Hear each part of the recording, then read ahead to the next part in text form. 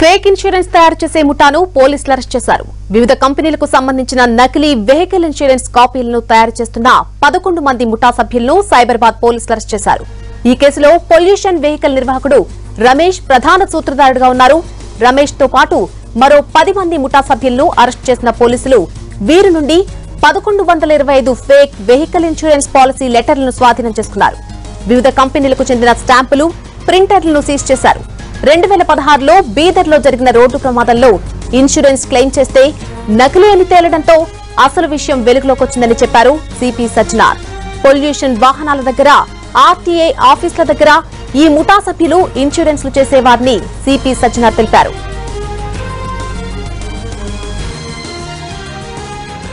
చేసి అక్కడ వాళ్ళ ద్వారా వచ్చిన వాళ్ళకు ఈ కస్టమర్స్ వచ్చిన వాళ్ళకు బ్రీఫ్ చేయడము ఫేక్ ఇన్సూరెన్స్ పాలసీ అమ్మడము ఈయన ఏ నైన్ వీళ్ళందరూ కూడా ఎవరెవరు వస్తుంది వాళ్ళకి తెలిసేది. ఎవరెవరు నలుగురు ఏజెంట్ ఉన్నారు వాళ్ళు ఏనని చెప్పేది. శంకర్కి ఇట్లా వచ్చారని చెప్తే ఈయన ఇమీడియట్లీ వాళ్ళతో డీటెయిల్స్ తీసుకుని ఫేక్ ఇన్సూరెన్స్ పాలసీ చేసుకుని అమ్మేవాడు. ఇట్లా వీళ్ళు మొత్తం ఒక గ్రూప్ గ్రూప్ ఒక గ్యాంగ్ అయి ఇవంతా fake insurance policy అమ్మేవాడు. A eleven? Jitendra కుష్వా అని చెప్పి ఉన్నారు.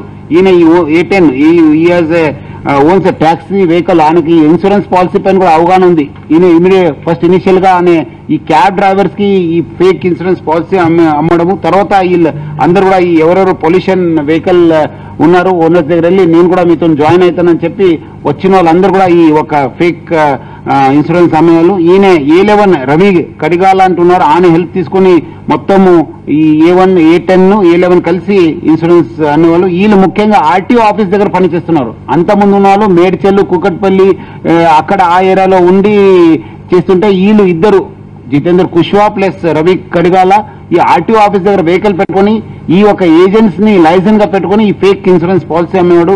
మొత్తం మనము eleven hundred and twenty five insurance policies దాదాపు ఇంకా తొమ్మిది వందల insurance fake insurance policies seize చేయడం జరిగింది. నలుగురిని ఎంగేజ్ చేసి అక్కడ వాళ్ళ ద్వారా వచ్చిన వాళ్ళకు ఈ కస్టమర్స్ వచ్చిన వాళ్ళకు బ్రీఫ్ చేయడము ఫేక్ ఇన్సూరెన్స్ పాలసీ అమ్మడము. ఈయన ఏ నైన్ వీళ్ళందరూ కూడా ఎవరెవరు వస్తుంది వాళ్ళకి తెలిసేది. ఎవరెవరు నలుగురు ఏజెంట్ ఉన్నారు వాళ్ళు ఏనని చెప్పేది? శంకర్కి ఇట్లా వచ్చారని చెప్తే ఈయన ఇమీడియట్లీ వాళ్ళతో డీటెయిల్స్ తీసుకుని ఫేక్ ఇన్సూరెన్స్ పాలసీ చేసుకుని